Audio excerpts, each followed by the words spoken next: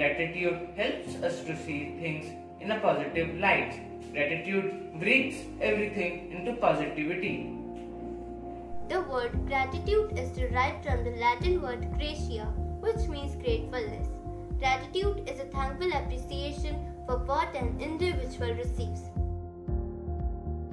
With gratitude, people acknowledge the goodness in their lives.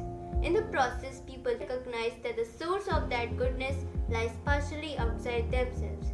It helps them to connect with other people, nature, or a higher power. The first step towards gratitude is recognizing that, in spite of your struggles, you still have a life worth living. Gratitude allows you to feel hope. It gives you energy to take steps you may have been too fearful to take before. Gratitude helps us to see things in a positive light.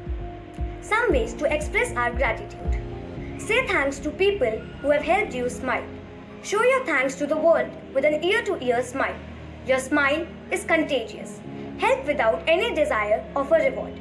Help people in need without expecting anything. Write a note of thanks to a family member or a friend. They'll not only appreciate it but also preserve it for the years to come.